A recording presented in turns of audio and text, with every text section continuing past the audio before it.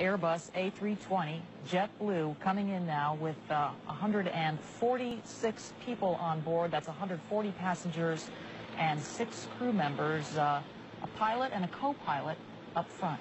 All right, we are watching it now, and it's coming in low and presumably slow now. It's probably crossing the 405 and approaching uh, Sepulveda Boulevard and ultimately the uh, airport. That's uh, runway 25 left. That was the 405 freeway right there. We're getting close.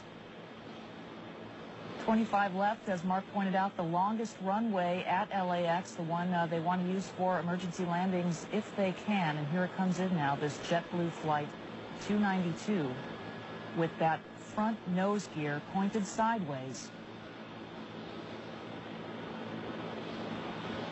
Hold the nose.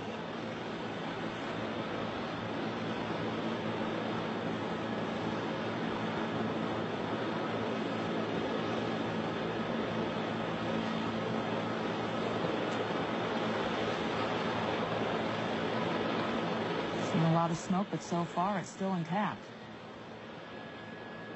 The landing gear. He's now slowing down as, as best he can.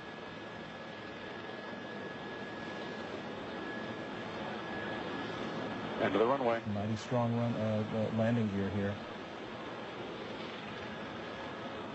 That's the tires burning out there. Mhm. All right. Best of all possible scenarios, it did not collapse. The chin gear, or the, the chin of that aircraft did not skid down the runway. It has come to a complete stop. They will now have to evacuate the passengers off that aircraft, but they're doing it uh, with the nose gear still in place, albeit with the tires burned away and gone, but you can see no indications of any fire on board this aircraft.